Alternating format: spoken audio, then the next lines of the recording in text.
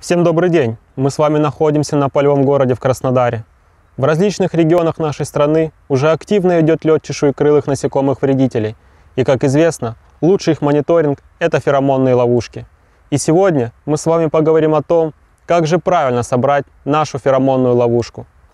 Наша феромонная ловушка состоит из домика, клеевого слоя и феромонного диспенсера. Попробуем собрать наш домик. Собирать его достаточно просто, загибая по швам внутрь все части нашего домика. Верхняя часть у нас загибается подобным образом. Это необходимо для того, чтобы осадки не попадали внутрь. Для прочности можно скрепить верхнюю часть скрепками или степлером.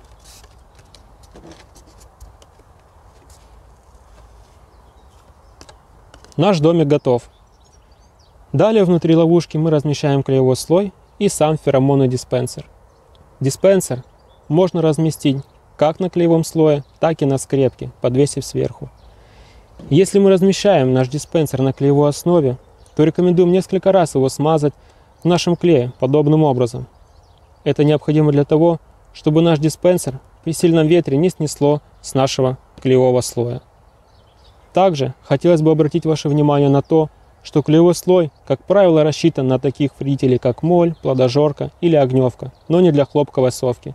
Поэтому для мониторинга этого вредителя мы рекомендуем дополнительно сверху нанести жидкий клей на нашу клеевую основу. Далее мы вставляем наш клейкий вкладыш внутрь домика.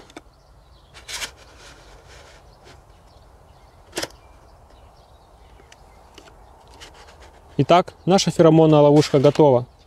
Осталось разместить ее в поле. На этом все.